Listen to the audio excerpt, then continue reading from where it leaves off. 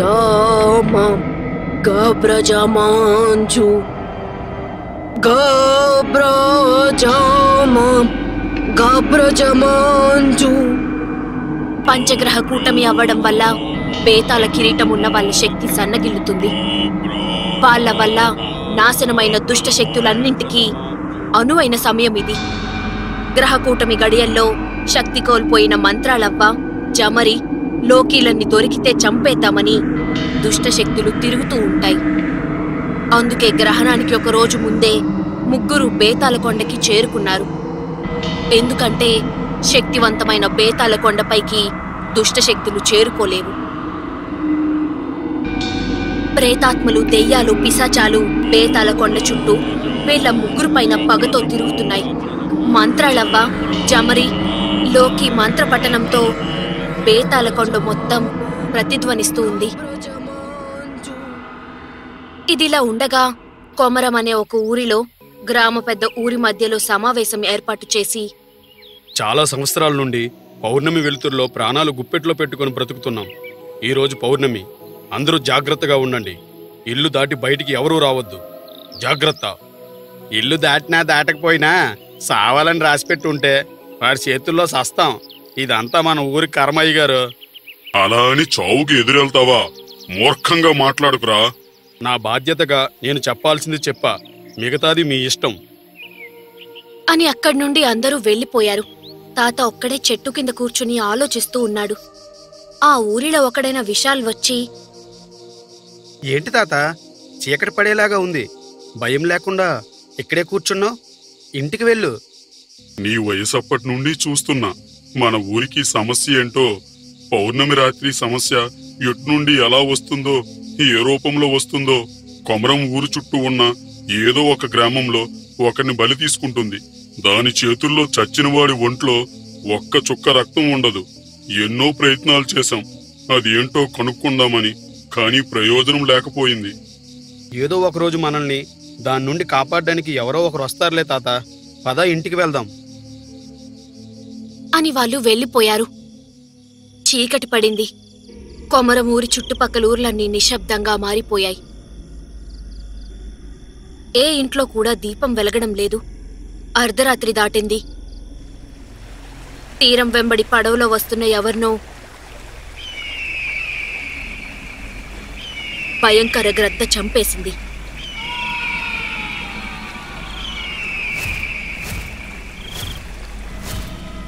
అక్కడ బేతాలకొండపై గ్రహకూటమి గడియలు దాటి సంపూర్ణమైన పౌర్ణమి రావడంతో ముగ్గురు జపం ఆపేశారు. బేతాలకొండ చుట్టూ తిరుగుతున్న ఒక్కో పిశాచి ప్రేతాత్మలు దెయ్యాలు మాయమైపోయాయి.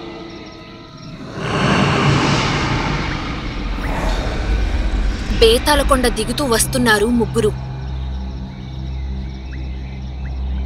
దూరంగా ఆకాశంలో ఎగురుతున్న గద్ద కాలి నుండి రక్తం కింద నడుస్తున్న మంత్రాలవ్వ చేతి మీద పడింది.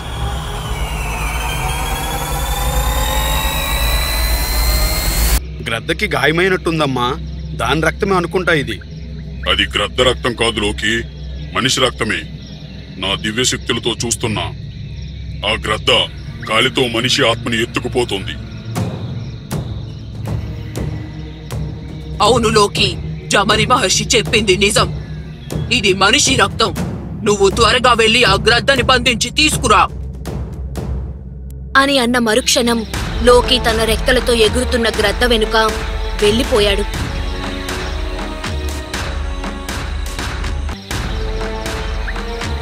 అసలు లోకికి రెక్కలు ఎలా వచ్చాయవ్వా? అదంతా పెద్ద కథ జమరి. సమయం వచ్చినప్పుడు మీకు వివరంగా చెప్తాను. అని ఇద్దరూ వాళ్ళ వాళ్ళ ఊర్లు బయలుదేరారు.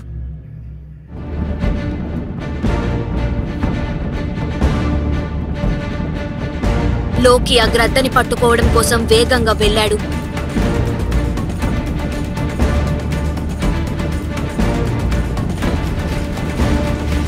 కానీ దాని పదునైన గోర్లతో లోకి మీద దాడి చేసి ఎగిరిపోయింది. కానీ లోకి దానిని వదలకుండా దాని వెనుకే వెళ్ళాడు. సరిగ్గా కొమరమూరు చేరుకోగానే ఆ గ్రద్ద అదృశ్యమైపోయింది. లోకి ఆ ఊరిలో దిగి తెల్లవారే వరకు ఉండి ఆ ఊరు కోసం తెలుసుకుని వెనక్కి వెళ్ళిపోయాడు. మంత్రాలవ్వ మదిరలో ఉంది. లోకి వచ్చి కొమరమూరిలో సమస్య కోసం గ్రద్ద తప్పించుకున్నది అంత వివరంగా మంత్రాలవ్వకి చెప్పి అమ్మా బేతాల శక్తితో ఆ గ్రద్దని బంధిద్దామనుకున్నా కానీ అది తప్పించుకుని మాయమైపోయింది. నాయనా లోకి నీకు మొన్ననే బేతాల కిరీటం దక్కింది. నువ్వు ఇంకా చాలా శక్తి పుంజుకోవాలి. దానికి నువ్వు ఇంకా కఠోర బేతాల తపస్సులు చెయ్యాలి. సరే అమ్మా తప్పకుండా నువ్వు చెప్పినట్టే చేస్తాను. మరి పౌర్ణమి రాత్రుల్లో బలవుతున్న కొమరం ఊరు ప్రజల సంగతి ఏంటి? ఆ ఊరు సంగతి నేను చూసుకుంటాను. నువ్వు బేతాల కొండకి వెళ్ళిపో. అవసరమైతే నేనే పిలుస్తా. సరే అమ్మా నేను వెళ్ళొస్తా. అని లోకి బేతాల కొండకి ఎగురుకుంటూ వెళ్ళిపోయాడు. బేతాల శక్తి తిప్పికొట్టి ఏమార్చి తప్పించుకుందా ఆ గ్రద్ద? కొమరం చుట్టుపక్కల ఊర్లలో పౌర్ణమి రాత్రి మనుషుల్ని చంపుతున్నది పిశాచా? మనిషా లేక దెయ్యమా? ఒకవేళ ఈ రెండింటికి ఏమైనా సంబంధం ఉందా అలా ఆలోచించుకుంటూ కొమరమూరు బయలుదేరింది మంత్రాలవ్వ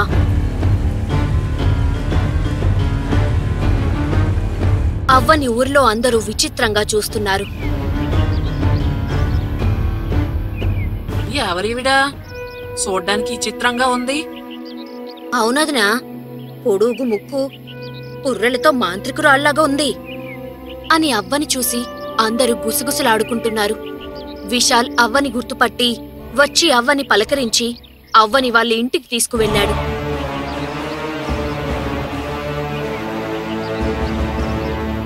నేను మదిరిలో ఉండే సూరి స్నేహితున్నవ్వా. కొన్ని సంవత్సరాల క్రితం వాడితో కలిసి మదిరిలో మీ ఇంటికి కూడా వచ్చాను. ఓ అలాగా. మర్చిపోయాను. పర్వాలేదులే అవ్వా. ఇంతకీ మా ఊరు ఎందుకు వచ్చావు అవ్వా మంత్రాలవ్వ తను వచ్చిన విషయం అంతా చెప్పి మీ ఊరిలో మనుషులు చనిపోతున్నారంట. అది కూడా పౌర్ణమి రాత్రులు. అవునవ్వా నిజమే. ముత్తు తాతకి అన్నీ తెలుసు. అని తాతని పిలుచుకువచ్చాడు నా చిన్నప్పుడంతా బానే ఉండేదవ్వా. తర్వాత కొన్నాళ్ళకి మా ఊరు గ్రామ పెద్ద. వినోద్ త్రిదేవ్ గారి ఒక్కగానొక్క కూతురు హారికని తను ప్రేమించిన కోశాల్ మహాన్కిచ్చి పెళ్ళి చేసి అల్లుడిని గ్రామ పెద్దగా నియమించి ఆయన తీర్థయాత్రలకు వెళ్ళిపోయారు వినోద్ త్రిదేవ్ గారు మా ఊరు వదిలి వెళ్ళిపోయినప్పటి నుండి ప్రతి నెల పౌర్ణమికి ఎవరో ఒకరు అనుమానాస్పదంగా చనిపోవడం మొదలైంది. ఒక పౌర్ణమి రాత్రి ఎప్పటిలాగే చెరువులో అర్ధరాత్రి చేపలు పడుతున్న జిడ్డుగాడిని మొసలి తినేసింది. మరుసటి రోజు వాడి శవం చెరువు నుండి బయటకు తీసి చూస్తే ఒంట్లో చుక్క రక్తం లేదు. తెల్లగా పాలిపోయి ఉన్నాడు. వేటగాళ్ళని పిలిపించి వాళ్ళతో కలిసి ఊరు వాళ్ళమందరం ఆ మొసలి కోసం చెరువులోనూ చెరువు చుట్టుపక్కల అంతా గాలించాము. కాని ఆ మొసలి జాడ కనిపించలేదు. నాకు తెలిసి ఈ చెరువులోనే కాదు ఈ చుట్టుపక్కల ఏ చెరువులోనూ మొసలున్నట్టు వినలేదు చూడలేదు. అసలు జిడ్డుగాడిని చంపింది మొసలేనా? అయ్యా మొసలి జిడ్డుగాడిని నీటిలోకి లాక్కు వెళ్ళడం నేను చూసి సాయం కోసం ఊర్లో వారిని పిలుచుకు వచ్చే లోపు అది వాడిని చంపేసిందయ్యా. అవునయ్యా. అవునయ్యా దాము చెప్పింది నిజమే. చెరువు ఒడ్డున మొసలి అడుగులు కూడా ఉన్నాయి. అప్పటి నుండి ఆ మొసలి కోసం ఊర్లో వాళ్ళందరం అడవిలోనూ చెరువుల్లోనూ జల్లెడ పెట్టి వెతికాం కానీ ఆ మొసలి దొరకలేదు. తరువాతి పౌర్ణమికి అడవిలో నుండి ఊర్లోకి వస్తున్న హస్సన్ గాడిని పాము కాటు వేసి చంపేసింది. పాము కాటుతో చనిపోయిన హస్సన్ ఒళ్ళు మొత్తం బీటలు వారింది. వాడి ఒంట్లో కూడా చుక్క రక్తం లేదు. అది మామూలు పాము కాటు కాదని మాకు అర్థమయ్యింది. ఎంతో మంది భూత వైద్యులు మాంత్రికులు తాంత్రికులని పిలిపించినా మా ఊరి సమస్యని కనుగొనలేకపోయారు. సంవత్సరాలు గడుస్తూనే ఉన్నాయి. ప్రతి పౌర్ణమికి చుట్టుపక్కల ఊర్లలో ఒంటరిగా ఉన్న వాళ్ళు ఎవరో ఒకరు బలి అవ్వడం ఆగలేదు. కొన్నాళ్ళకు ఒక రోజు నా భార్య మంగమ్మని నేను చూస్తుండగానే రాకాసి గబ్బెలం వచ్చి తన్నుకుని తీసుకుపోయింది.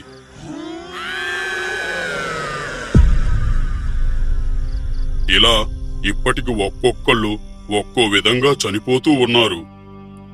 అయితే మొన్న చనిపోయిన వాడికి గ్రద్దకి సంబంధం ఉందా? ఉండే ఉంటుంది. మొన్న చనిపోయిన వాడి ఒంటిపై పక్షిరెక్కిన ఆనవాళ్ళు ఉన్నాయి. బేతాల శక్తిని తప్పించుకుని పోయిన ఆ గ్రద్ద అంతు చూడకపోతే భవిష్యత్తులో చాలా ప్రమాదం. అందుకే మీ ఊరు సమస్య కోసం తెలుసుకుని వెతుక్కుంటూ నేనే వచ్చాను.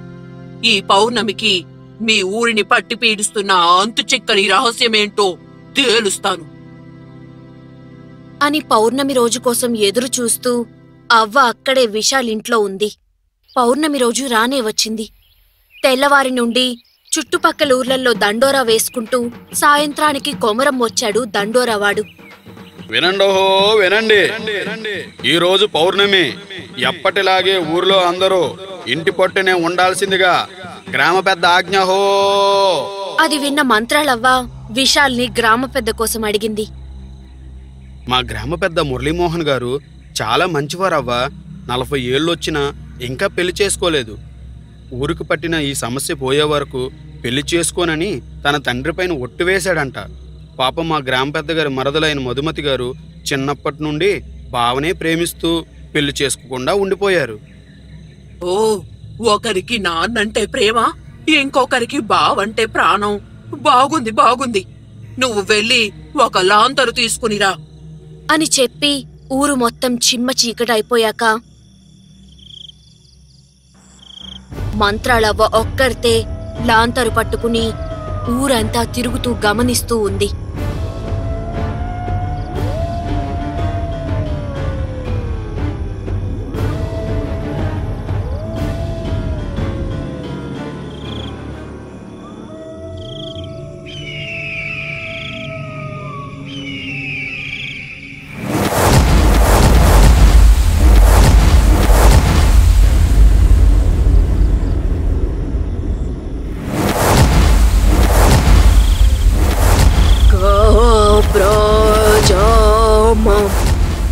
గబ్రజమాంజు గబ్రజమాం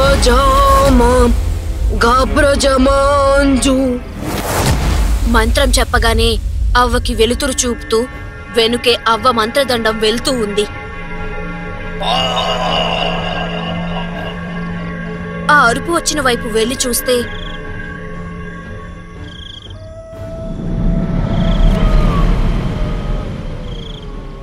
నీటిలో మునిగిపోతూ ఎవరో అరుస్తున్నారు. పౌర్ణమి చందమామని కమ్ముకున్న మేఘాలు తొలగిపోయాయి.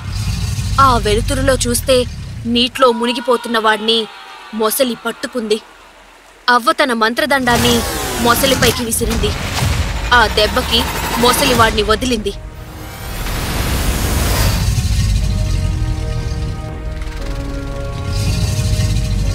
అవ్వ విసిరిన మంత్రదండాన్ని పట్టుకుని గాలిలో వేలాడుతున్న వాడి చుట్టూ నీటిలో మొసలి తిరుగుతూ ఉంది. అవ్వ మంత్రదండం వాడిని ఒడ్డుకు చేర్చింది.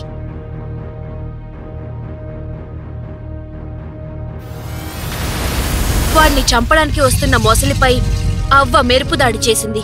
అయినా ఆ మొసలి ఆగడం లేదు.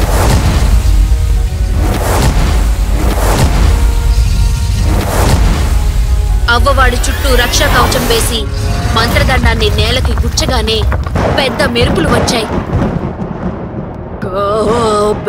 గబ్రజమాం గబ్రజమాంజు గబ్రజమాం గబ్రజమాంజు మంత్రం చదవగానే అవ్వ కళ్ళల్లో నుండి మెరుపులు వచ్చి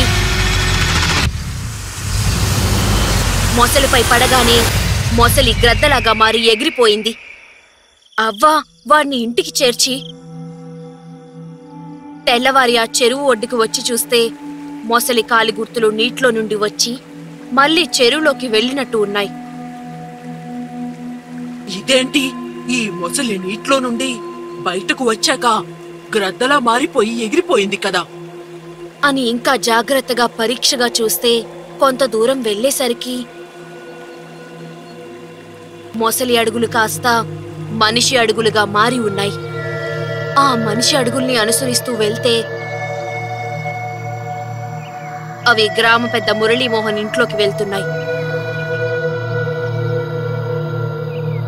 అవ్వ సందేహంగా ఇంట్లోకి వెళ్ళి చూస్తే జ్వరంతో పడుకుని ఉన్న గ్రామ పెద్ద అవ్వ రావడం చూసి ఓ మీరా?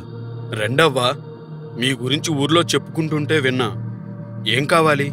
మా ఇంటికి ఎందుకు వచ్చారు? ఊర్లో ఏదో సమస్యని అందరూ అనుకుంటూ ఉంటే విని ఏమిటో కనుక్కుందామని వచ్చాను. ఇంతలో అక్కడికి పని మనిషి రంగమ్మ వచ్చి వెళ్ళమ్మా వెళ్ళు. అయ్యగారు కొంట్లో బాగోలేదు. పౌర్ణమి వస్తే చాలు. మా అయ్యగారు నీరసించిపోతారు. ఆ అచ్చు వాళ్ళ తండ్రిలాగే.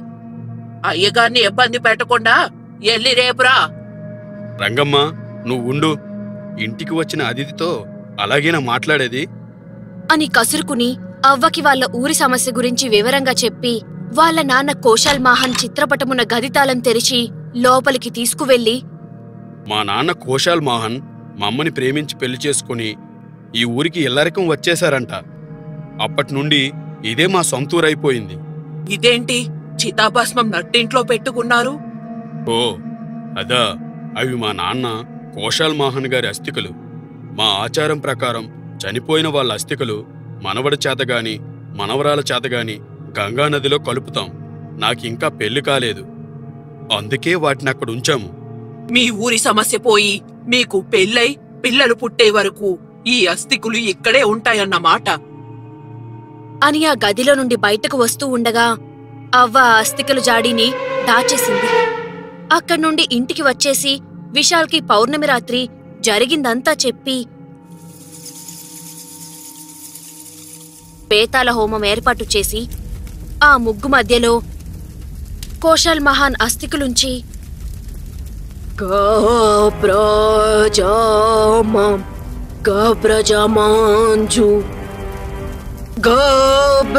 గబ్రజమం గబ్రజమాంజు మంత్రం చెప్పగానే కోశాల్ మహాన్ ఆత్మ ప్రత్యక్షమయ్యింది.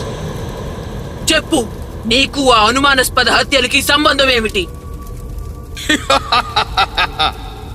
తెలుసుకొని మాత్రం ఏం చేస్తావే ముసలి? అవతల ఉన్నది మీ మోసా. అవతల మిమోసా అయితే యువతల మంత్రాలవ్వరా? నీ మిమోసాతో సమోసా తినిపిస్తారా? చెప్పు అసలు ఏంటిదంతా? నా పేరు కోశాల్ మోహన్. నేను నా ముగ్గురు స్నేహితులు కుణ అప్పు నిగ్గు కలిసి చాలా దొంగతనాలు హత్యలు చేశాం. మమ్మల్ని పట్టిస్తే లక్ష వరహాలని గ్రామ పెద్ద ప్రకటించడంతో మేము దోచుకుని దాచుకున్న బంగారం మొత్తం నాలుగు వాటాలు వేసుకుని ఎవరు వాటా వాళ్ళు పట్టుకుని ఈ ఊరు వదిలి వేరే దేశం పారిపోదామనుకుని నలుగురం ఎవరికీ దొరకకుండా అడవి మార్గాన బయలుదేరాము. కొన్ని నెలలు ప్రయాణం చేశాక మార్గమధ్యంలో గుణ ఆగిపోయాడు. ఇక నా వల్ల కాదు. మీరు వెళ్ళండి.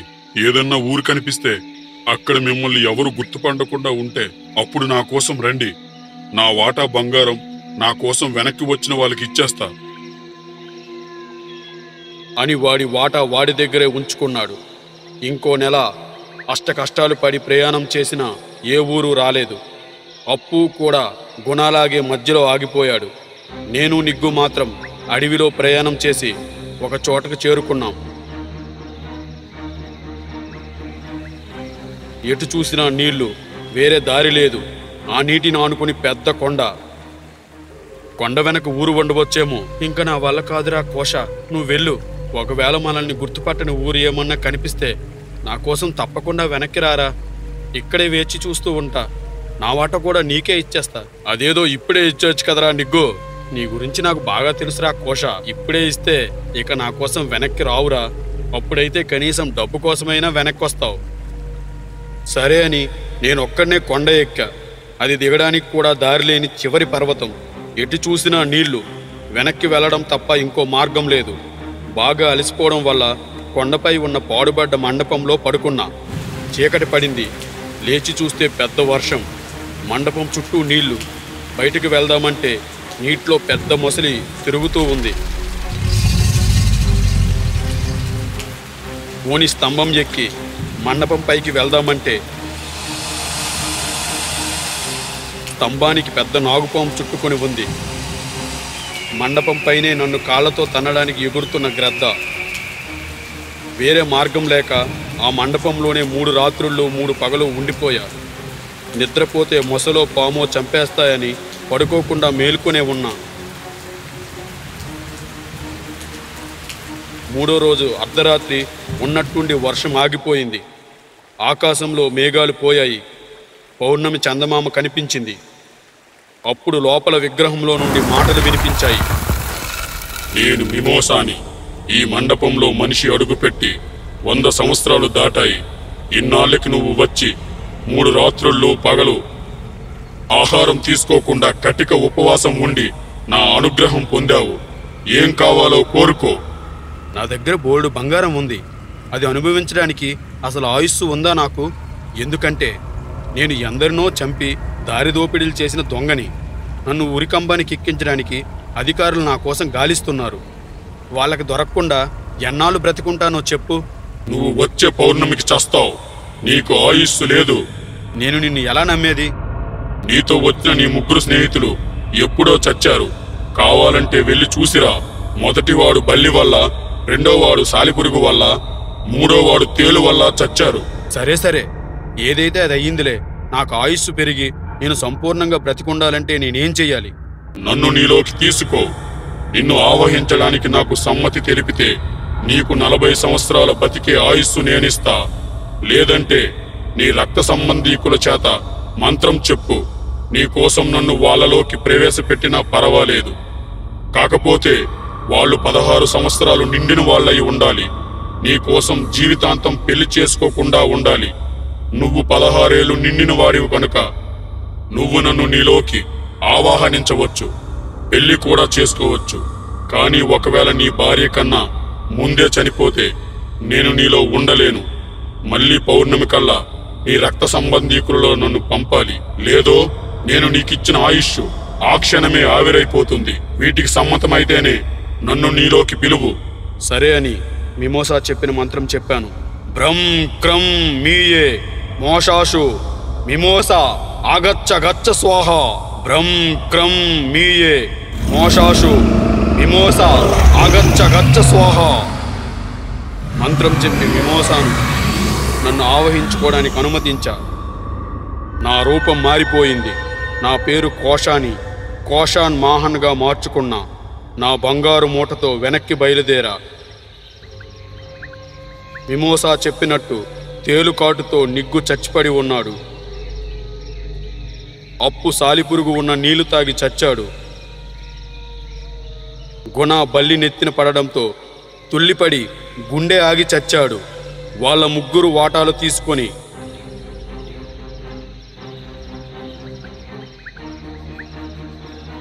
మారిపోయిన నా మొహాన్ని ఎవరూ గుర్తుపట్టడం లేదు.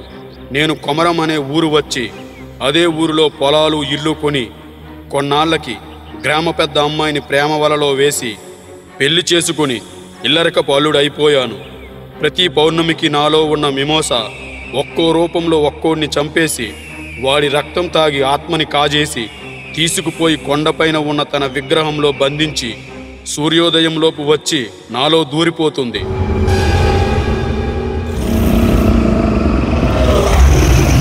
అలా బయటికి వచ్చి నాలో దూరగానే నాకు ఓపిక పోయి ఒక రోజంతా జ్వరం నీరసంతో ఉండేవాడిని తీర్థయాత్రలకు వెళ్ళిన మా మామగారిని కూడా మిమోస ఆవహించి ఉన్న నేనే చంపేశా. కొమరం ఊరికి శాశ్వత గ్రామ పెద్ద అయిపోయా. కొన్నాళ్ళకి నా భార్య చనిపోయింది. భార్య చనిపోయిన వాడి ఒంట్లో మిమోసా ఉండదు.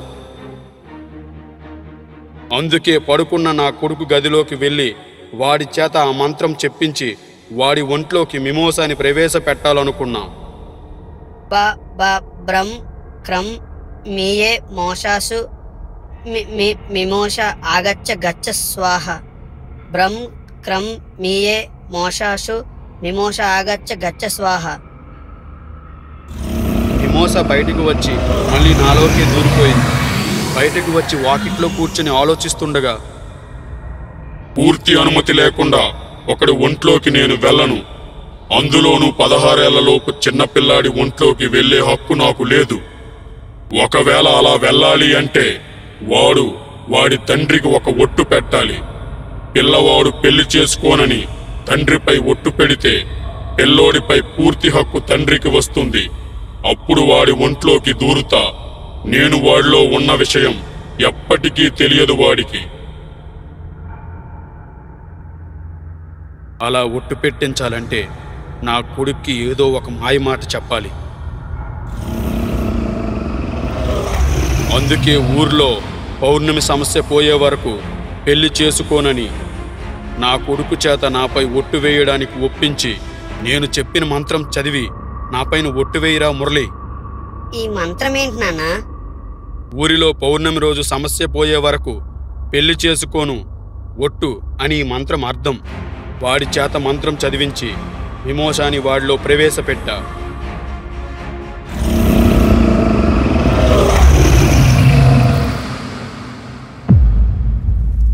టింగరోడు నా ప్రాణం నిలుపుకోవడం కోసం వాడి చేత ఒట్టు పెట్టించా. వాడికి నా పన్నాగం తెలియదు. వాడే ఊరికి పట్టిన సమస్యని వాడికి తెలియదు. కానీ ఇదంతా ఎందుకు? నీ సొంత కొడుకుని ఎందుకు ఏకాకిని చెయ్యడం? పదహారేళ్ళు దాటిన వాడికే తనలోకి మిమోసాని ఆవహించుకోవడానికి హక్కు ఉంటుంది. కానీ పదహారేళ్ళలోపు వాడికి ఆ హక్కు ఉండదు. వాడు రమ్మని మంత్రం చదివినా మిమోసా వాడిని ఆవహించడు. ఎందుకంటే పదహారేళ్ళలోపు వాడి బాధ్యత తండ్రిది. కాబట్టి తండ్రి అనుమతితో పిల్లవాడిని ఆవహిస్తుంది. కానీ అలా ఆవహించిన వాడు పెళ్ళి చేసుకుంటే వాడిపైన తాళి కట్టించుకున్న భార్యకి హక్కు ఉంటుంది. అప్పుడు మిమోసా వదిలేస్తుంది వాడిని. అప్పుడు అనుమతి ఇచ్చిన తండ్రి బతికి ఉంటే మిమోసానే చంపేస్తుంది. బ్రతికి లేకపోతే వాడి ఆత్మని పాతాళంలోకి తోసేస్తుంది మిమోసా. వాడు పెళ్ళి చేసుకుంటే నా ఆత్మ పాతాళంలో చీకటిలో మగ్గిపోతుంది. అని మాయమైపోయింది. అవ్వకి మొత్తం అర్థమయ్యింది. విశాల్కి ఏం చేయాలో చెప్పి ఊరిలో పెళ్ళి కాని అమ్మాయిలతో ముగ్గులు పోటీలు పెట్టించి అందులో మధుమతి గెలిచేలా చేసి గ్రామ పెద్దగా గెలిచిన అమ్మాయి మెడలో మురళీమాహన్ చేత పూలమాల వేయించారు. ఉంగరం బహుమతిగా మురళీమాహన్తో వేలికి తొడిగించారు. అయితే ముందే ఆ మాలలో తాలి పెట్టడం వల్ల ఆ సమయంలో పక్కనే ఉన్న పురోహితుడి చేత మెల్లగా పెళ్ళి మంత్రం చెప్పించి అక్షింతలు చల్లడం వల్ల మురళీమాహన్కి తెలియకుండానే మధుమతితో పెళ్ళి జరిగిపోయింది. మురళీమాహన్లో ఉన్న మిమోసా బయటకు వచ్చి రకరకాలుగా రూపాలు మార్చుకుని అవ్వపై దాడి చేశాడు.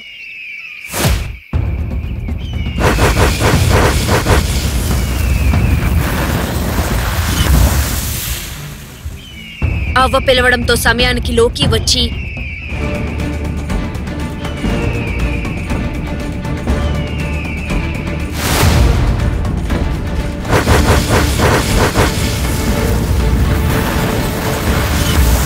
రెండు బేతాల కిరీటాలతో దాన్ని కట్టడి చేశారు.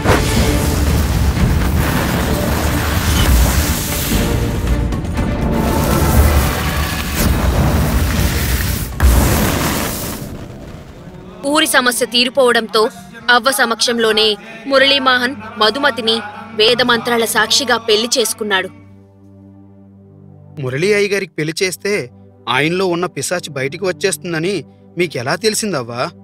ఆ కోశల్ మహాన్ గాడి ఆత్మ నేను ఏమీ చెయ్యలేననుకొని వాడి గుట్టు వాడే చెప్పుకున్నాడు. ఆవహించిన వాడు పెళ్ళి చేసుకుంటే వాడిపైన తాలి కట్టించుకున్న భార్యకి హక్కు వస్తుంది. అప్పుడు మిమోసా వదిలేస్తుంది వాడిని. వాళ్ళ ఊరిని పట్టిపీడుస్తున్న సమస్యని పరిష్కరించిన మంత్రాలవ్వకి మనస్ఫూర్తిగా కృతజ్ఞతలు చెప్పుకుని భార్యతో కలిసి వాళ్ళ నాన్న ఆశీస్సులు తీసుకుందామని కోశల్ మహాన్ గదికి వెళ్ళి చూస్తే అక్కడ అస్థికల జాడీ లేదు. ఇదేంటి? నాన్న అస్థికల జాడి ఏమైనట్టు? అక్కడ మధురకు వెళ్ళే దారిలో నడుస్తూ నడుస్తూ కోశల్ మహాన్ అస్థికలని నేలకు వేసి కొట్టగానే కాపాడండి! ఈ పాతాల చీకటిలో చస్తున్న నన్ను కాపాడు అవ్వా! కాపాడు! అబ్బచ్చా! అప్పుడేమో ముసలి గిసలి అన్నావు. ఇప్పుడేమో అవ్వా బువ్వా అంటున్నావు. చెప్పాగా అవ్వా అంటే ప్రాణం పరంగా పెట్టైనా కాపాడుతా. ముసలి ముక్కు అని అవహేళన చేస్తే అంతు చూస్తా. మురళీమాహన్కి ఇదంతా ఏమీ తెలియదు. భార్యతో అన్యోన్యంగా జీవిస్తున్నాడు.